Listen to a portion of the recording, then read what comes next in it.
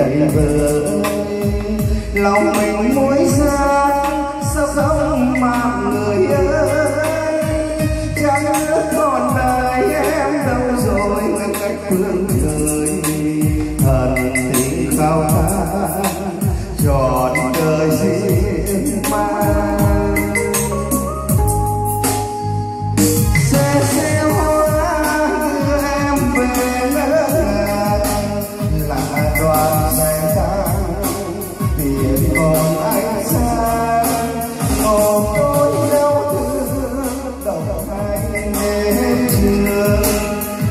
địa phương yêu đương chỉ còn buồn lao hùng đớn đau từng tim lòng người ơi trời cây hai đứa ôm cách địa thái nơi lau mắt rồi tôi xin ra người làm vui lòng người đành chờ dịp sau hẹn lại yêu nhau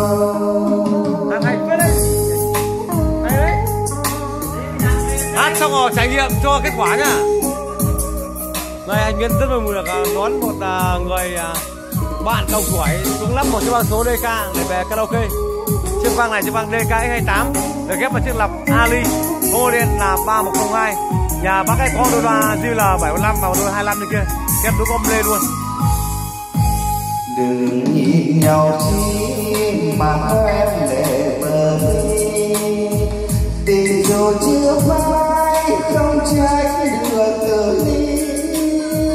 Ai biết đời mai sau bao giờ ai biết đâu ngờ tình hai chúng ta lẽ lòng hôn xót xa từng kỷ niệm đầy vỡ, lòng mình mỗi sáng sao sống mát người ơi chẳng nước còn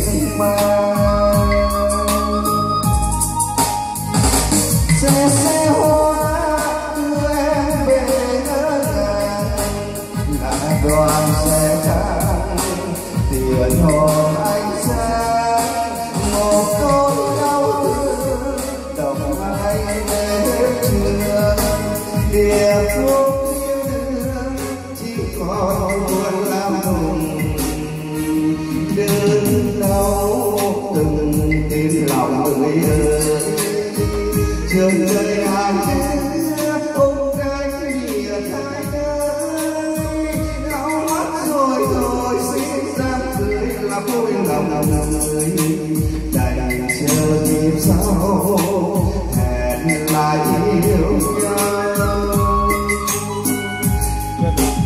Lau mắt rồi thôi xin ra cười là vui lòng người. Đành chờ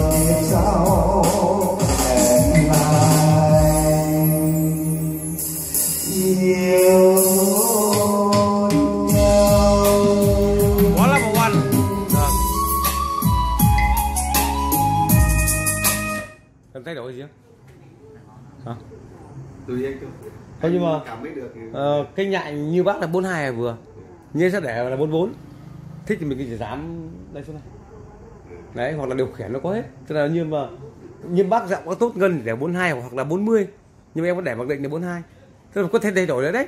Ví dụ như là, cái mic này để 40 vẫn phải tăng lên này. Đấy. Nhại để 44 cái này vẫn giảm xuống. Này đấy, được chưa? Tùy theo người, nhưng cái mức này em để ok rồi. Được chưa? Hát được với hát nhẹ